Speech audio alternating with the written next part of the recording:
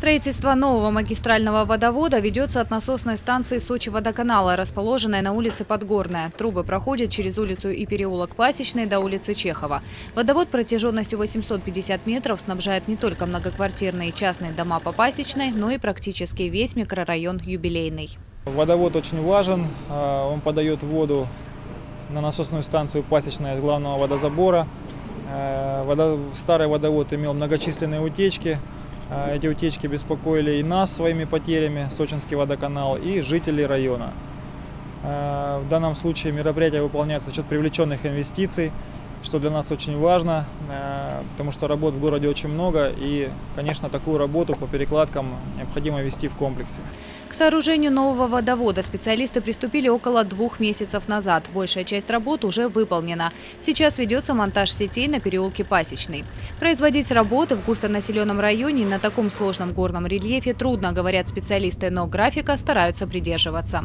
Там э, тяжело технику поставить, тяжело эту трубу поднять. Очень много приходится ручной работы. То есть приходится лебедками э, поднимать эту трубу, монтировать.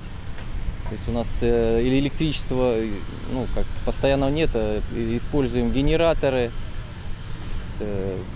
Постоянно вода вот прибывает, старая труба пробита, насос, э, помпа работает, воду выкачиваем, ну преодолеваем трудности. Диаметр нового водовода 600 мм. Трубы выполнены из стали и имеют внутреннее полимерное покрытие. Это позволяет значительно увеличить срок их эксплуатации, значит обеспечить бесперебойным водоснабжением целый микрорайон.